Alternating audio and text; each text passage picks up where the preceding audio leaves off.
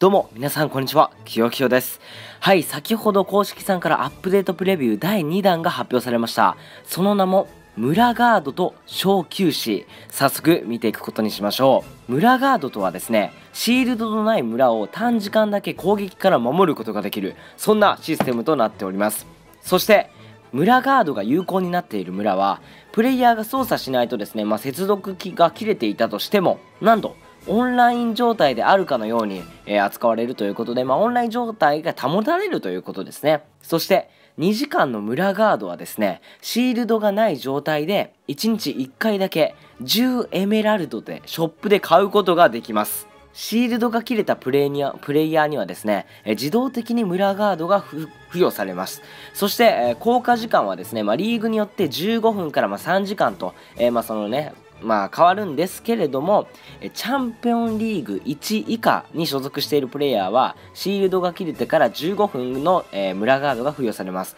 そして、レジェンドリーグに所属しているプレイヤーは、3時間の村ガードが、えー、付与されるということです。そしてですね、この村ガードはいつでも解除することができるということです。まあですね、この村ガードというものは、まあその、えー、ああ、あと3分早く起きてればシールドを切れなかったのにとかいう方のためのですね、まあ、なんて言うんですかね、ちょっとしたこう、サポートをしてくれるようなものだと思ってください。はい、続きまして、小休士なんですけれども、えー、小休止というのはですね、まあ、皆さんいつもまあ資源狩りとかトロフィー上げをしている時にですね、6時間に1回、そのプレイヤーさんちょっとお休みしてくださいとしてですね、えー、6時間に1回インができなくなってしまったんですね。その前のアップデート前はそうだったんですけれども、えー、このアップデートによりですね、シールドなしに合計3時間のオンラインプレイをした場合にですね、その小休止というのが訪れます。そして、小休止が発動するまでの時間はですね、えシールドを獲得しない限りリセットされません。はい。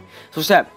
ショップからですね、2時間の村ガードを購入すると、プレイヤーの小休止時間はですね、えー、最大2時間延長されます。サーバーメンテナンス中はオンラインプレイヤーに対する小休止時間が停止されますがリセットされません。はい、今までですね、言ってきましたけれども、なんのこっちゃわからんわと。まあ、このですね、今、今読み上げたものは、ランカーさん、まあ、そのトロフィー上げ、えー、まあ、トロフィー4200以上とかの方々はすごいよっしゃーっていうですね、もう聞いただけでよっしゃーっていうか、お、これ結構いいんじゃねってなると思うんですけれども、まあ、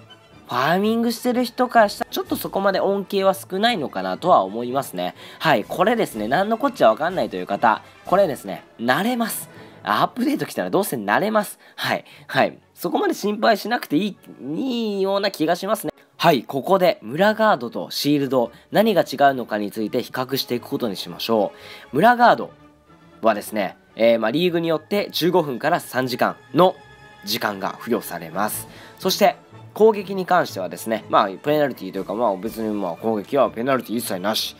そしてですね、えー、シールドが切れた時点で村ガードが自動的に発動します。先ほども申し上げました通り、ああ、ちょっと3分早く起きてればというかいうのがなくなるわけですね。そして、自動村ガード期間というのはですね、まあ、リーグが上がるほどに、まあ、増えますと。そして10エメラルドで1日購入することができます。そして、まあですね、えー、購入できるのはシールドが発動していない時のみ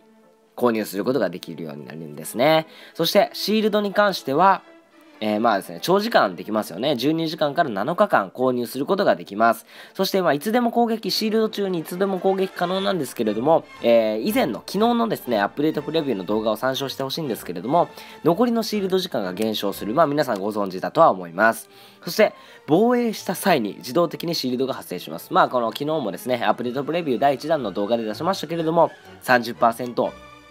以上取られた時に12時間の、えーシールドが発生いたします。そしてですね、まあ、シールドは以前と、えー、これまで通りですね、えエメラルドでショップから購入可能となっております。まあですね、長ったらしく喋っていきましたけれども、例えば、これはシステムそのものが変わるということで、ちょっと複雑になると思いますが、えアップデートが来た瞬間、もう慣れますよ、皆さん。必ず慣れます。そして、フラッシュオブクラン公式さんの Facebook の方で、詳しくですね、文字、文字にしてですね、えー、紹介されていますので、そちらの方必ずご覧いただくようににしていただければなと思います。ということで、アップデートプレビューが来たら、最速で皆さんに情報をシェアしていきたいと思います。ということで、ご視聴、